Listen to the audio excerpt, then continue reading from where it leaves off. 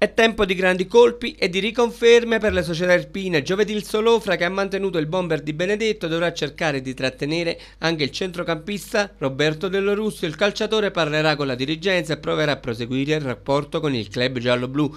Movimenti in promozione, Vincenzo Lippiello passa dalla Virtus Avellina all'ambizioso Caratenuto Mugnano. Il Baiano, come avevamo annunciato nei giorni scorsi, ha ufficializzato Adolfo Gerolino. Il calciatore mandamentale ha deciso di mettersi in discussione alla corte di mister Francesco Sgambati sgambati dopo la buona esperienza con i cugini del Mugnano.